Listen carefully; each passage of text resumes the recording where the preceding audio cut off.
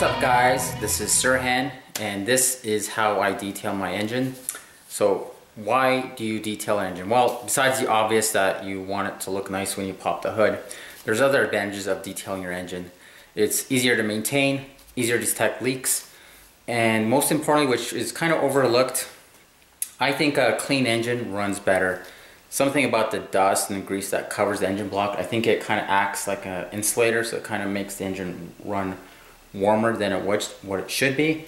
So that's a, a benefit of keeping the engine nice and clean.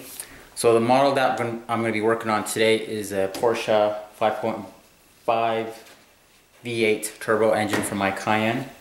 Uh, so I'll show you how that car looks, how the engine looks, and I'll show you how it looks after.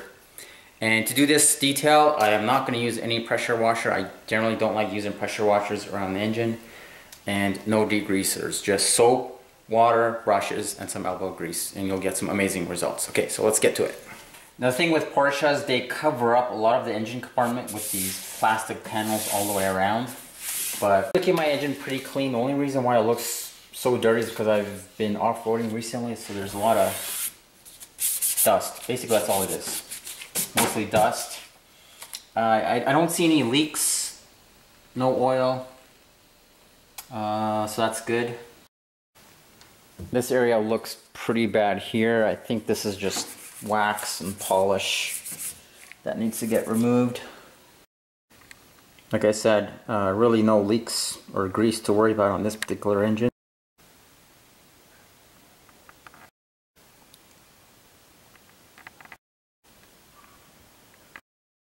Okay, before I start, first thing I always do, I cover up the engine with some plastic.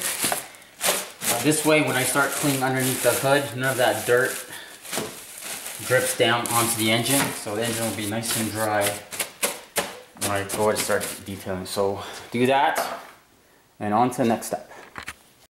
Okay, so when it comes to detailing your engine, it's the same principle as when you detail your car. You always start from the top, top and work towards the bottom. So first thing I do, start with underneath the hood. And for this job, all that I'm gonna use is soap and water. This is in a bottle with a foam trigger. I know a lot of people use degreaser. I don't like to use degreaser. I don't like the fumes. It's harsh.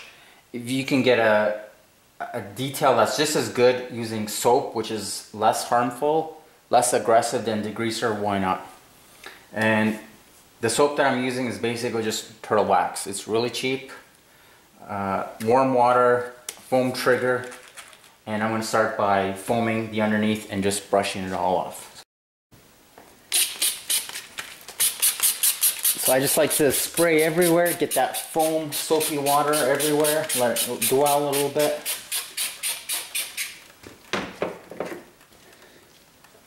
And just take your brush, just agitate. There we go. And it was just soap and water like, and some uh, elbow grease, this dust and debris, it just comes right off. Like you don't need a degreaser at all. Always start with the least aggressive method. If that doesn't work, then you can use a degreaser, but the soap and water just works absolutely fine.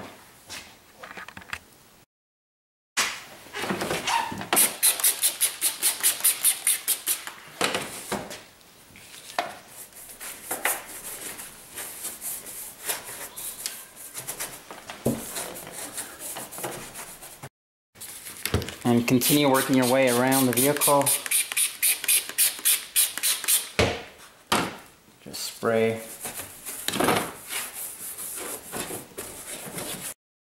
Okay, next, what I'm gonna do now is just give it a quick rinse, just to get all that dirt and uh, contaminants off underneath the uh, hood. So just a little bit of water, don't need much.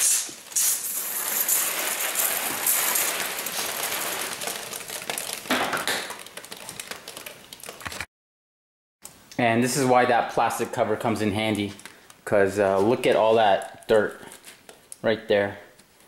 Okay, I'm gonna leave that plastic cover on top of the engine and continue working on the outside of the vehicle. Again, soapy water with a foam trigger, spray, and agitate with a brush. So continue uh, working on this side. Once we're done here, I'll go over the other side. And this is all you need to do, just, just agitate.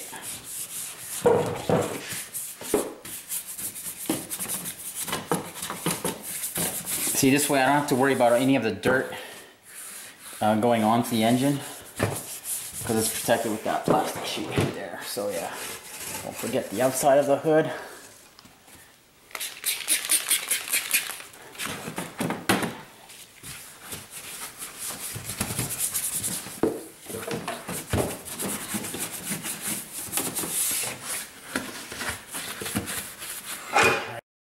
Okay, now I'm just going to continue to the other side, same thing.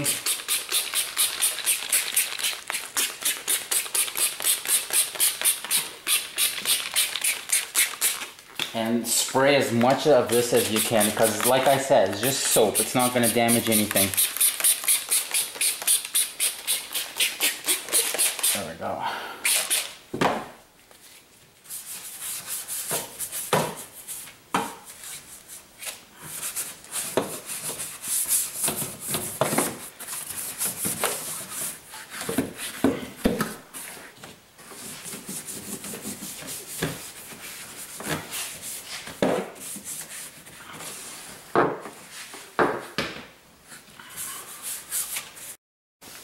Okay, now, now I'm going to work my way towards the front of the engine.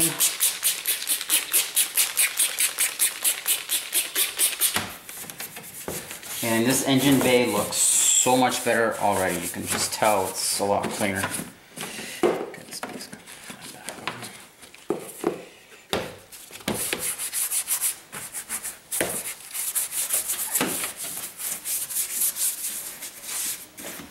I mean, this engine bay was fairly clean to begin with. Like it was really dusty. And if it was full of mud, like caked on mud, I'd maybe probably use a degreaser, but for, for this purpose, uh, soap and water is more than sufficient. Okay, so now that I've done agitating the surroundings with a brush and underneath the hood, I've, I've done that, I've rinsed the hood. Next thing I'm gonna do is just rinse all of this off. Get all of that dirt and debris off. Here we go, same thing, just very light pressure.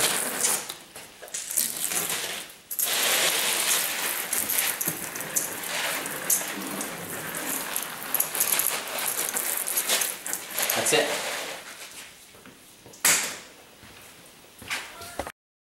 Okay, now that I've cleaned out the area outside of the engine block, I can go ahead and remove this cover.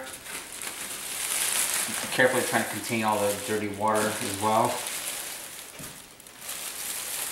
Just like this. And I don't know if you can see that, but that's just dirty water, which we don't need on the engine. So get rid of that. Okay, now we can focus on the engine. Okay, for the engine, same thing.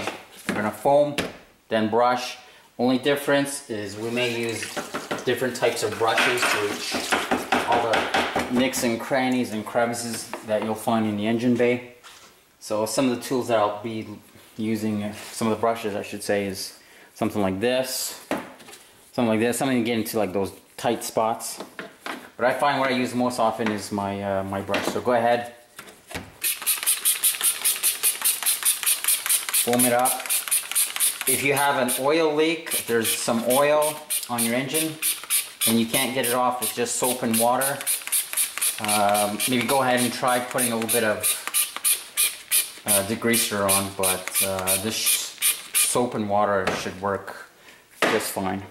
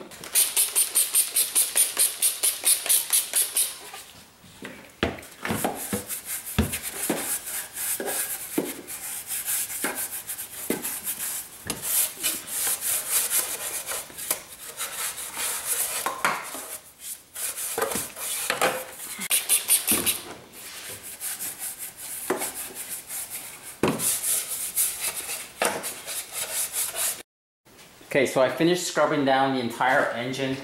Uh, the issue that I'm having right now is that it's extremely hot here in the garage and this water is evaporating a lot faster than what normally would. It's literally 35 degrees Celsius in my garage, which is 95 degrees Fahrenheit. But anyways, I'm gonna go ahead and uh, give it a quick rinse. Get all that dirt. Again, just low pressure is all you need.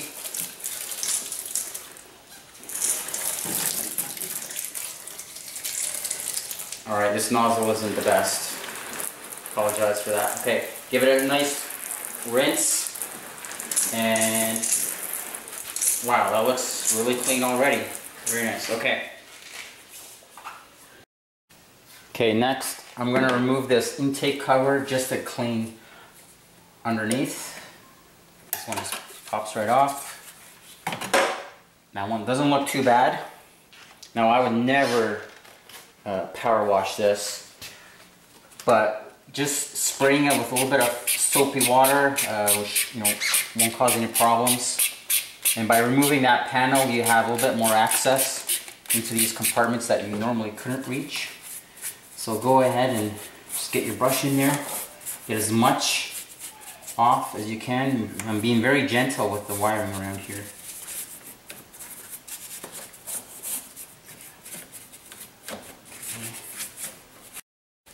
Now, whenever I remove panels from the engine bay, like for example, this intake cover that I just removed, I always like to give it a good cleaning. Not just around the sides, but underneath as well. You know, I, it's, it's all about those little details. You know, I know nobody's gonna ever look underneath this cover, but for me, I just like the idea of having this, you know, as clean as possible. So I'll just go ahead Give it real good. Okay, this intake is a little bit more stubborn than what I thought. I tried using soap and water. It gets it off, but it's extremely slow. So what I'm to do, before I use degreaser, I'm just going to try some non-acidic wheel cleaner. Uh, this oil is like caked on. So I'm just going to spray it, let it sit for a bit, and I'm just doing this in my sink in my garage because uh, I don't want to wash this over the engine. But you can see there's a bit of caked on oil and grease, so. So let's see if the, the wheel cleaner gets it off. If the wheel cleaner doesn't get it off, then I'll move on to the next aggressive option, which would be the degreaser, but let's just see if this works. And uh, yeah, it's it's coming off pretty good. Yeah, that looks pretty good. And I bet just running some hot water will get the remaining residue off.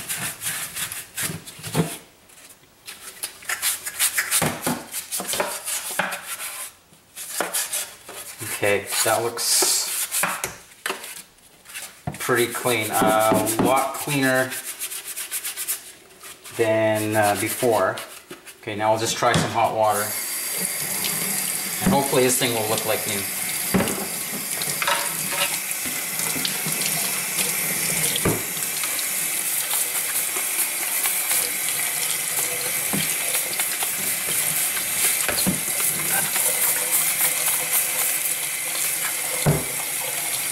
And this wheel cleaner is not even that aggressive. I mean, it's diluted, I think, 10 to 1 so it's pretty mild.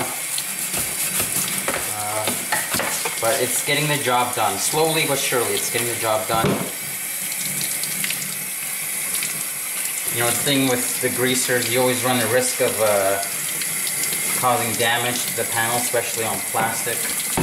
Uh, with this, you know, I got away with just some wheel cleaner, hot water, and that looks pretty good. Okay, I'm gonna go ahead and pop the intake cover back on.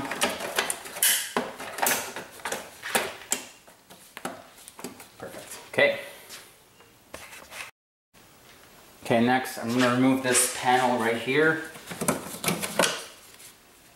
Now this panel covers the uh, power steering fluid and my connections for the battery.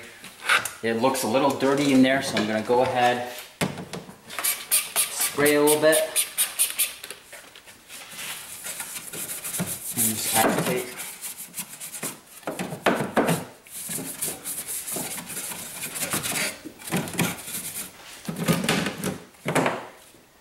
Oh, the inside looks fairly clean. I'll just give it a quick clean as well. Okay, go ahead rinse this in the sink. Alright, next thing I'm to do, I'm to dry off the entire engine and underneath the hood and I like to use a Master Sidekick. I think it's perfect for this job. It's light, very powerful. So here we go.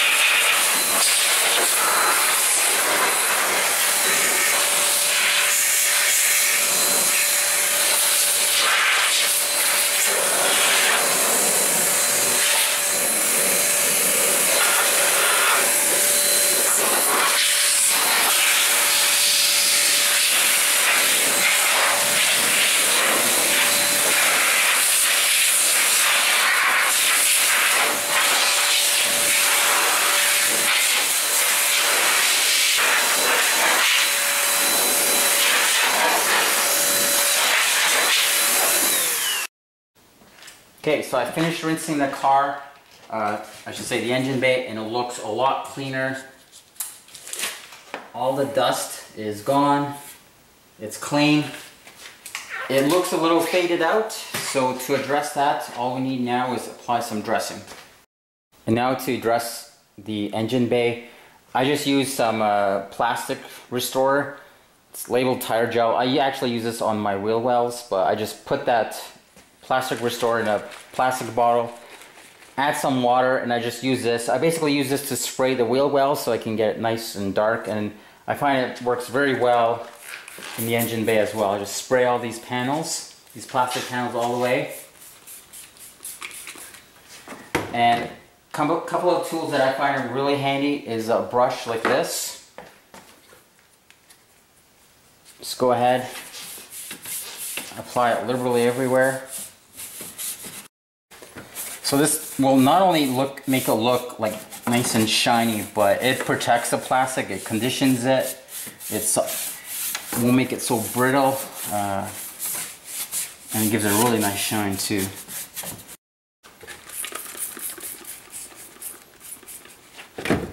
And the brush works really well on these intake tubes as well, so you can get in all these tight crevices.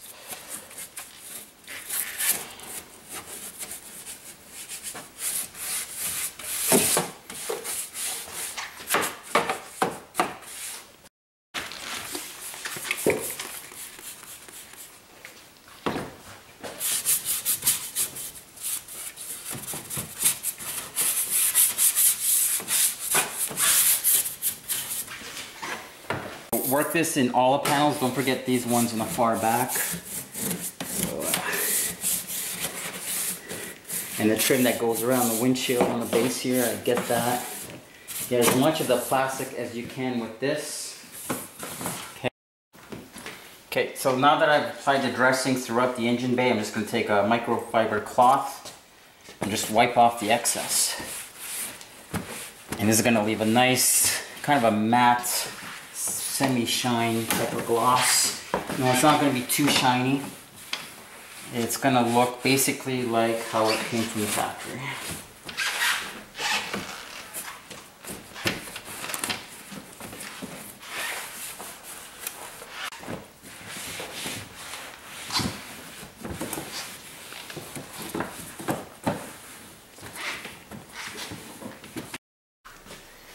Alright, now the last thing I'm going to do is just clean off the metal components of the engine bay. So under the hood, uh, any metal around the engine and for that just use some simple detail spray. Just spray and wipe.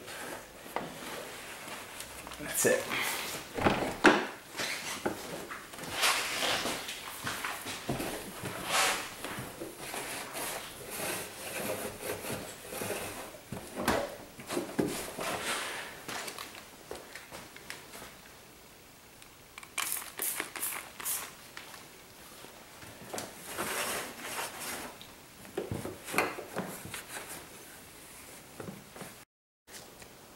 Okay, here's the finished product. Everything is dressed. It's been dried. And here's the final product. So, very clean. Everything's been dressed. It's got a nice matte finish. It's not greasy. Like if you use Armor All, that stuff is greasy and all the dirt is just to stick to the plastic. So it looks nice and clean. It's got a little bit of a sheen, but it's not greasy. Engine compartment all clean. As well as under the hood. Nice and clean, like you can see the reflection, like it's very clean there as well. And that only took one hour. And I didn't use a pressure washer, no degreaser, just soap, water, some brushes, elbow grease, and that's literally all that you need. Again, okay, well thank you very much for watching. Uh, please subscribe, leave comments, and I will get back to you next time guys. Thanks.